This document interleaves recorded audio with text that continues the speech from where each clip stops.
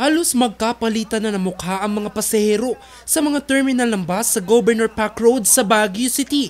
Ang grupo nila Renzi na biyaheng Lawag Ilocos Norte, ikinagulat ang dagsa ng mga pasahero.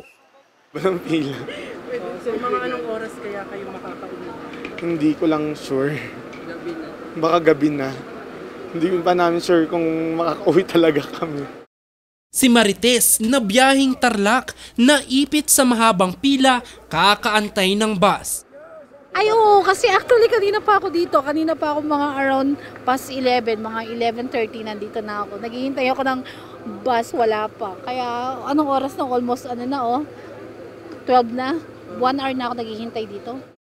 Ayon sa bus terminal manager, muling nagsidagsaan ang mga biyahero noong December 26. Anya, umabot sa 7,000 pasahero kada araw ang kanilang isinakay at inaasahang dodoble pa ito ngayong weekend.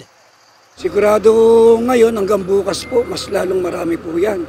Taon-taon po ganyan ang sitwasyon po.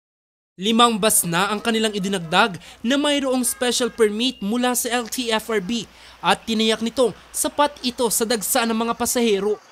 Pinaghandaan po namin itong okasyon to. Marami kaming bus na nakahanda, kondisyon ng bus, lalo na ating mga empleyado, talagang may sapat na pahinga po sila para mapag-suportahan sila, mapaglingkuran ng maganda.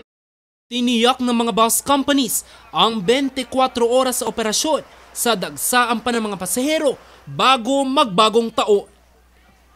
Jose Robert Inventor para sa Luzon Headlines.